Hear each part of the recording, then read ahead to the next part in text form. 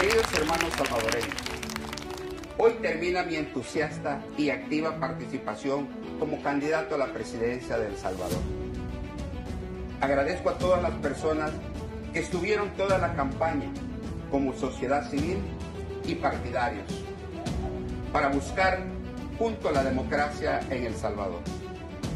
Los votos no me favorecieron, pero esto no evitará que siga trabajando desde mi trinchera, regresando a la sociedad civil, como migrante y empresario que regresé a mi tierra con grandes sueños de crecer juntos.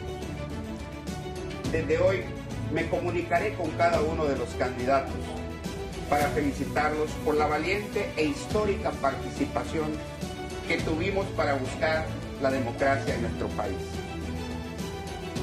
Dios bendiga El Salvador y le dé sabiduría al presidente que la población decidió, Nayib Bukele, para llevar a esta nación querida por los mejores horizontes.